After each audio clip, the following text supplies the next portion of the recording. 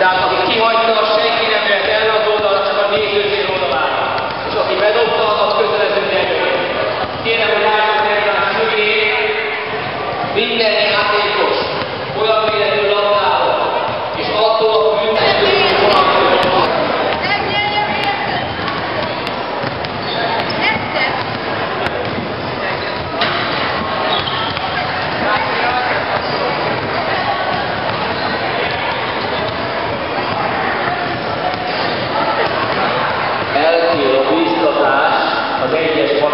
támadók számára, mert senki nem dobta be. Egész ezért a